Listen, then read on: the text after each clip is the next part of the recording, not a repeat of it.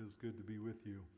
And um, before I say anything else, I just got word a little bit ago that for those of you that have been to Swaziland, most of you have um, that have gone there have met um, the Longas.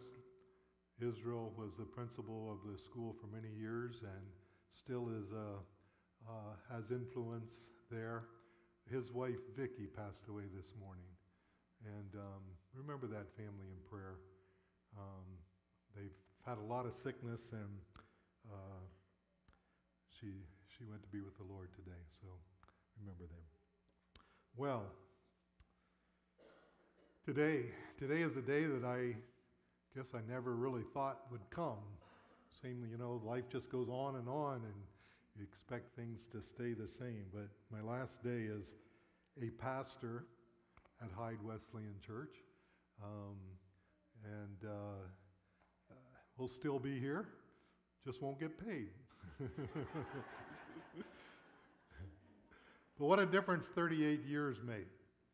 Um, Cindy and I had spent four years planning a church in western Kentucky before we received the call to come and be the pastor at Hyde Wesleyan. And Hyde Wesleyan was my dad's home church, so it's always had a place in my life and my, my heart. And um, uh, our first Sunday at Hyde, there were 17 people, and four of them were our family. And so that was the beginning. And uh, shortly after um, we settled, uh, or we, we came, um, a lady many of you know, Gloria Gill, started attending, and she shortly after that gave her heart to the Lord, and the Lord saved her. And um, there, she had two boys, and you know one of them anyway, Jason Gill.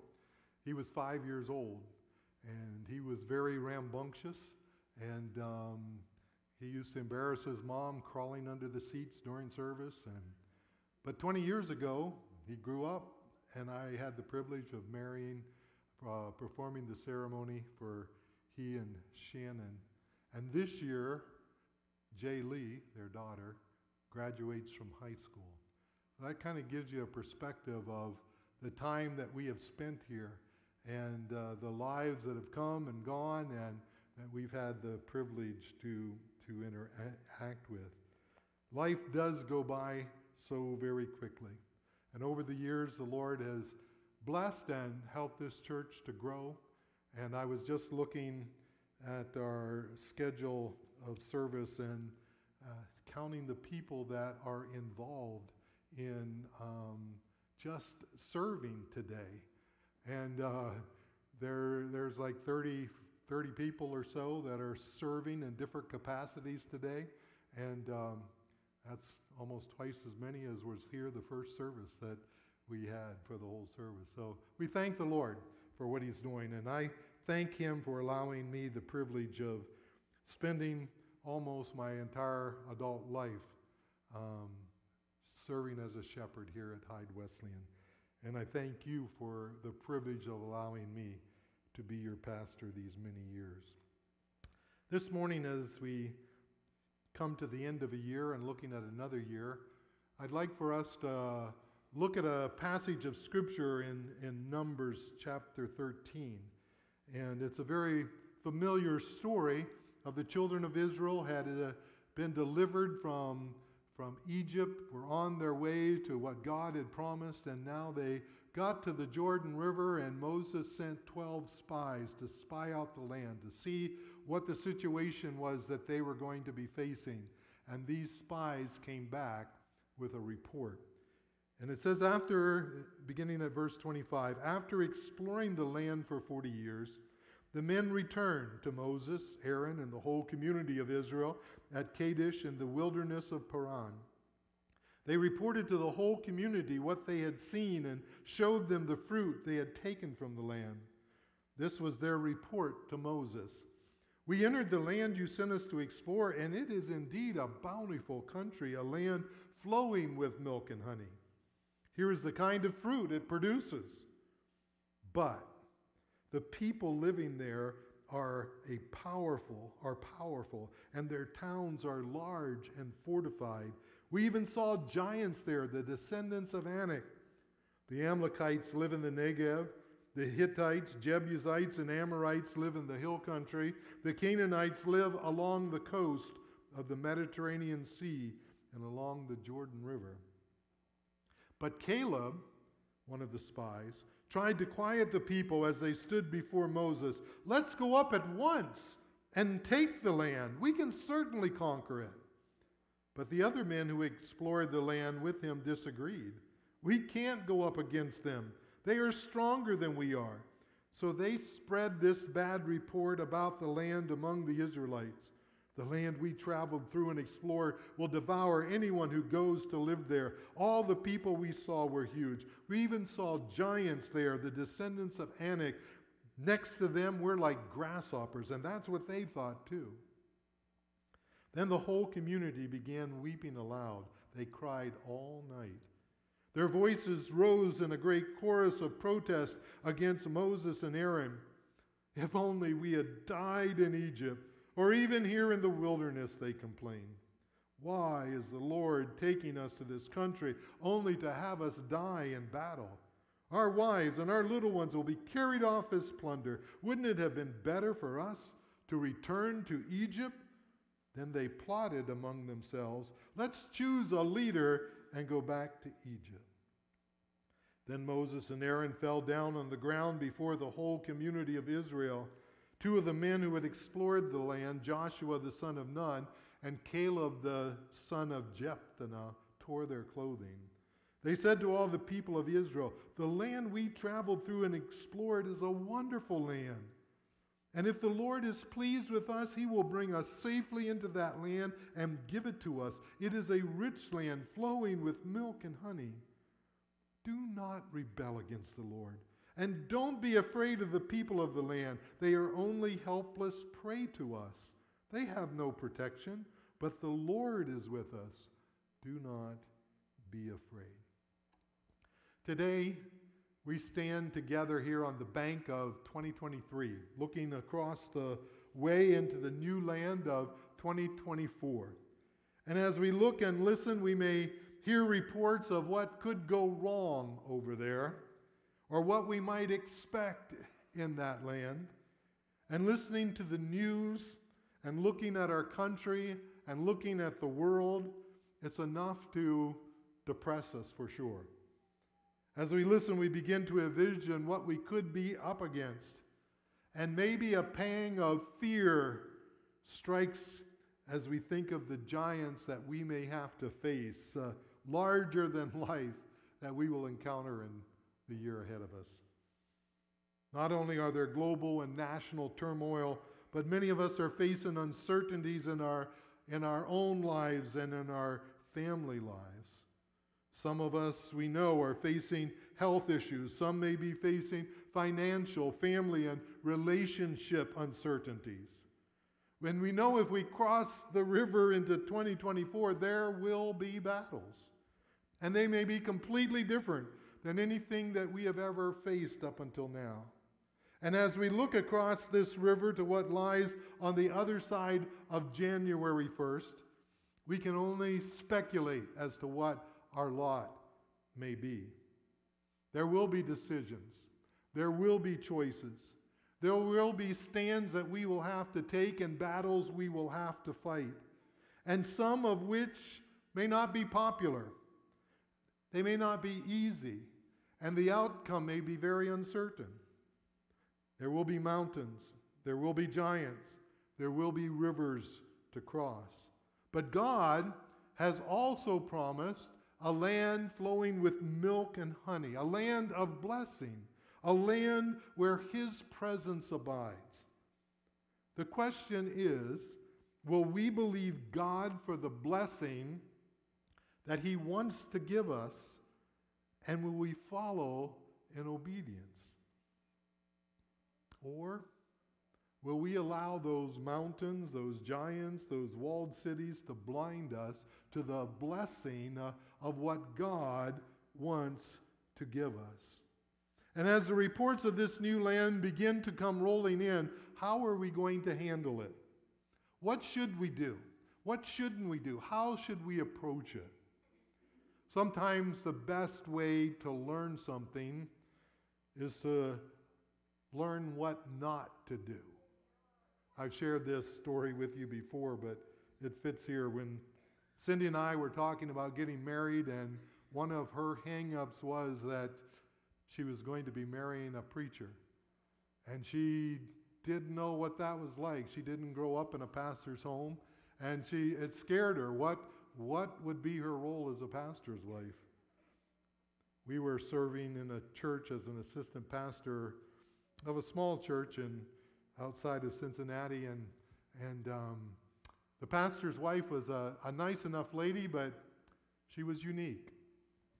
And um, she would sit on the front pew right there, and when the pastor would get up to preach, she would sit there and she would correct him. If he told his illustration, no, it didn't go that way. This is the way it went. And she would, you know, maybe a verse of scripture or whatever, she would she would correct him from down below. And there were many other things that were unique about her. And so I told Cindy, I said, Cindy, just look at her, and whatever she does, don't do it. and it worked. This morning we are looking at this story not as an example of what to do and what to be, but of things that we don't want to do this year if we are going to experience the blessing of God in our life. We want to look at some things that these children of Israel did. The first thing they did was they had forgotten the past. They had forgotten what God had done. As the 12 spies began to share all that they had seen and experienced in their foray into the Canaan land, as they went to spy out the land, the children of Israel were confronted with a new set of choices. Do we cross this river? Do we climb those mountains? Do we engage those giants? Do we go up against walled cities? And they struggled and they wrestled with that there as they heard this report. Uh, but looming larger in their field of vision uh, than all of those obstacle, obstacles was a fog of doubt that had rolled over their soul. And that doubt clouded them from seeing uh, God, from seeing the God who had brought them to this point already. Were the giants of Anak more powerful or greater than the Pharaoh of Egypt? Was the God who broke the back of the Egyptians not able to crush these heathen tribes?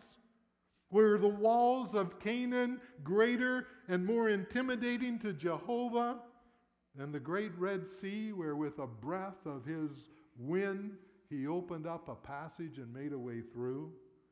How could they have forgotten all that God had done to get them to the bank of the Jordan River? These were not things that they had read about this was not something their mom and dad and grandma had told them how things that had happened in the past. These were things they had experienced. These people had experienced all of those great and miraculous acts of God in their life. Uh, how quick we are to forget the great works of God in our life, individually and in the life of the church. It's easy for fear to fill our hearts because all these things are true. There are powerful giants in the land. There are mountains that are going to have to be climbed, and ri- rivers to be forged, and walls uh, to be brought down. But Joshua and Caleb declared, The Lord will lead us into that land. The Lord will give it to us. The Lord is with us. Don't be afraid. Let's go and do what God has told us to do. Wow, what a difference. Joshua and Caleb declared, yes, all these things are true, but God. And when we look at life and we see the giants, if we can yell, we can acknowledge it, but God. But God. But the Israelites chose to listen to the ten. They had forgotten the past. There was this new problem that lay before them, and it seemed too big. It loomed so large that it filled their vision to the point that they were not able to see God. How could they have forgotten the mighty deliverance from Egypt? How could they have forgotten so quickly the manna and the quail that God had fed them with? The water that He had brought out of a rock to quench their thirst. How could they not recall the awesome power of God on Sinai as He gave them the Ten Commandments? And yet they did.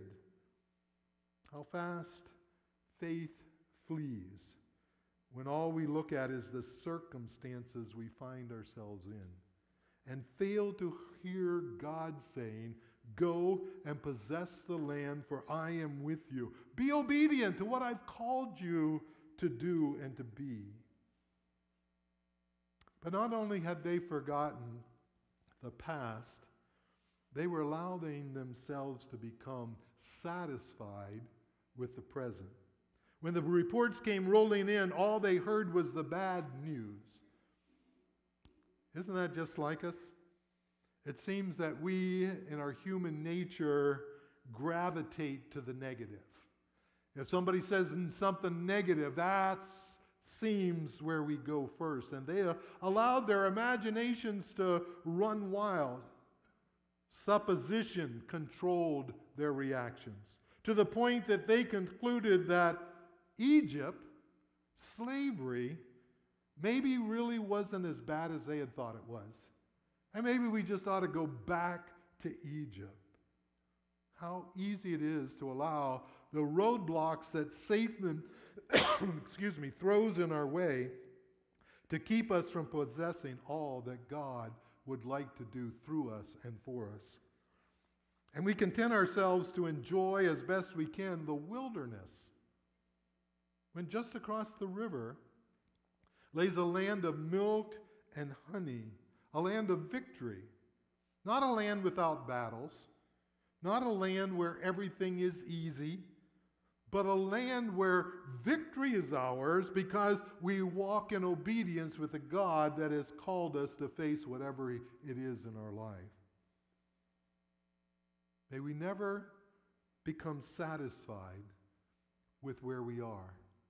May we never say, This is as best as it can get, and we're just going to we're just going to do this and not go forward. As individuals and as a church, we need to be more determined than ever to conquer the territory that God is calling us into, that our lives may make a difference where God has planted us. May it be said that Clearfield is a better place because the Hyde Wesleyan Church is here. May it be said that your family is better, that your workplace is better, that your friends are better people because you are there. Don't be satisfied with the presence. The Israelites, they had forgotten the past, became satisfied, content with their present lot, and it caused them to become overcome with fear fear of the future, of what could be and what is out there that they had no control over. And I must confess that that's what I struggle with the most. When the doctor says the disease you have has no cure and the damage has can't be reversed. Retirement sounds exciting, but it can also be scary. The word cancer can shake you to the core. But those things get me to the point of asking is the God that I have preached about for 45 years, is he enough? Is God enough? And, and when we begin to look at the things we face and the things that are uncertain, is God enough to get me through this? Scripture says the children of Israel, Israel wept the whole night long. Statistically, realistically, rationally, their fear was justified. To them, their journey from Egypt was ending in failure. If they crossed that river, they were going to be defeated, they were going to be plundered, they were going to die. At least that's the way they saw it. The fear was justified because the picture they were painting was one that for them to succeed, it was all dependent on what they thought they were able to do. But one thing was missing God. Without God, there was only defeat. There was only a, life full of failure. There was only death. But Caleb and Joshua had a totally different vision of what the future held. They had not forgotten God. They had not forgotten the God who had delivered them from the hands of Pharaoh. They had not forgotten the God that conquered the Red Sea for them. They had not forgotten the God who had provided manna and quail and water when there was nothing to eat or drink. And they knew that that same God would give them victory in the battles that lay ahead because that same God was the one who led them to this point. Caleb and Joshua definitely were not satisfied with their present condition of wandering in the wilderness. They had seen with their own eyes, they had tasted what God wanted to give them, and now nothing less would satisfy their soul than all that God had promised. So, why should they fear the future? Was not the God who brought them all this way from slavery to the shores of the promised land? Was he not the same God that was now commanding them to cross the Jordan River to take possession of that land that he had promised and wants to give to them? Caleb and Joshua shook off their fears. sure, they were human. They saw the giants. They had even scaled some of those very walls of the city that they were now called to go and possess. But they chose to embrace courage. For God was the one who had called them to this journey. Both groups, the 10 and the 2, both basically had the exact same report. Both agreed that the land was flowing with milk and honey, that the cities were walled, that the people were armed, that there were giants in the land. But the ten only saw the obstacles, they only saw the roadblocks, and they fed on each other's fear and negativity and were consumed uh, with a cloud of doubt. But Caleb and Joshua knew that if God says go, then all they needed uh, was faith and the courage to be obedient. That, all the rest was up to God. All the rest of victory was up to Him. I read a quote yesterday that someone posted. It says, The Bible never once says, figure it out. But over and over and over and over again, it says, trust God. It doesn't say, you've got to figure it out. I hope you can make it. I'll be there waiting for you. It just says, trust God. And you're going to be facing some things uh, that you just can't figure out, and you're going to have to trust them. There have been many times on my journey that the only way I got through it was to say, God, this is not my problem. You put me here, and I'm trusting you to see me through. You have to figure it out. And many times God calls us, as He did the children of Israel, to things that are bigger than us. And when He does, do I look at those giants and say, okay, I've got to figure this out? Or do we say with Caleb and Joshua, God will not only bring me to, but He will bring me through. Just don't disobey God. So here we stand at the close, as close to the new, new year as we can get from this side. Do we allow the roadblocks and the twists and turns that will surely come, do we allow them to stop us, to rob us of the victory that comes through obedience to God? Do we embrace the negativity that surrounds us, whether it comes from the news or from family or friends or even our own heart? Or do we cry the cry of Caleb? Let us go up at once and take this land. We can do this. Let us do what God has called us to do and be what God has called us to be. If we go forward with courage and faith and obedience, allowing God to fight for us as a church and as individuals, we too will see even more great and mighty works of God as He delivers us from and delivers us through all the fears we may have of what 2024 and the future may hold. And He helps us to conquer the giants, each and every one that stand in our way.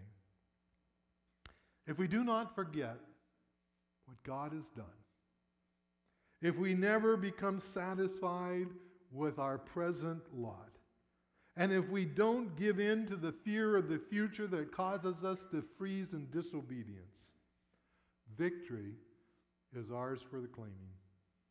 For God is the great I am, the same yesterday, today, and will forever be. Let us go in, possess 2024 for Christ.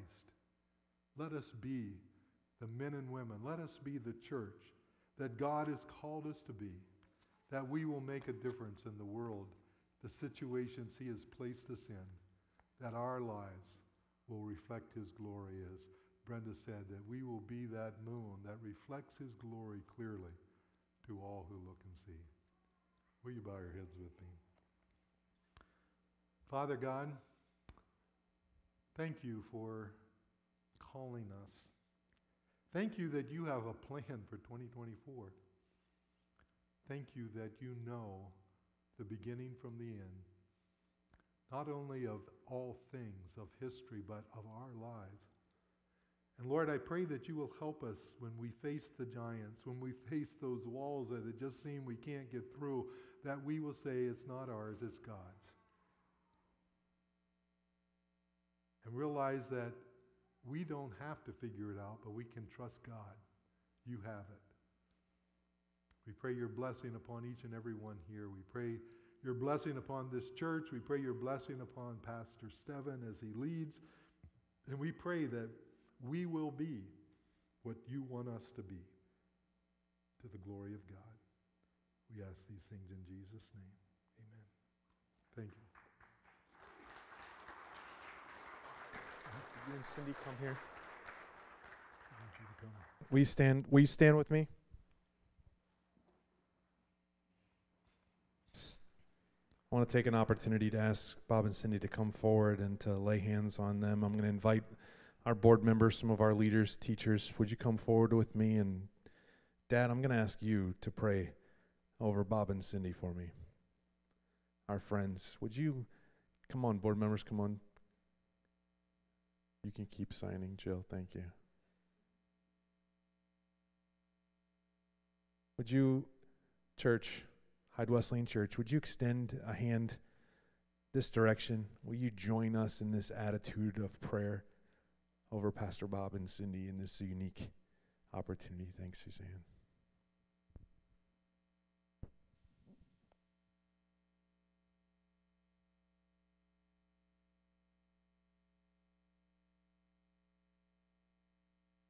What a unique moment.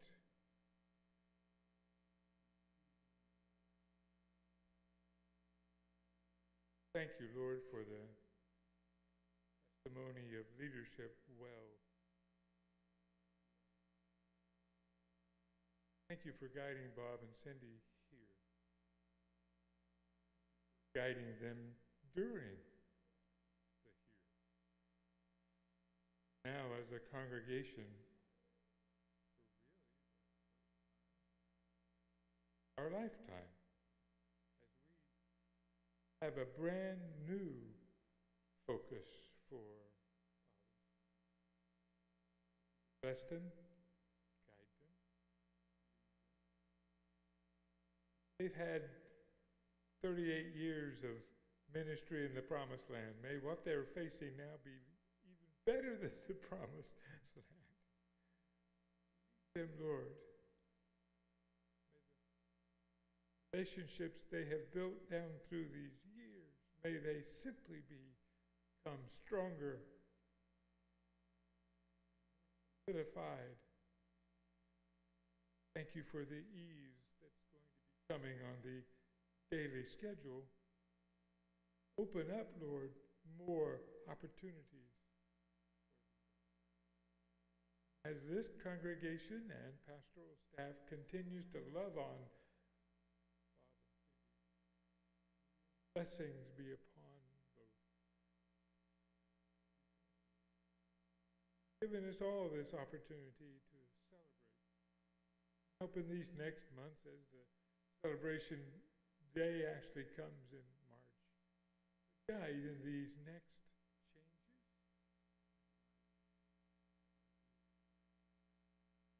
Thank you for your provision. Thank you that we can remember.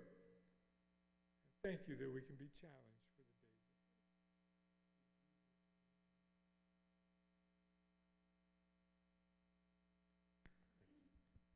God bless you, church.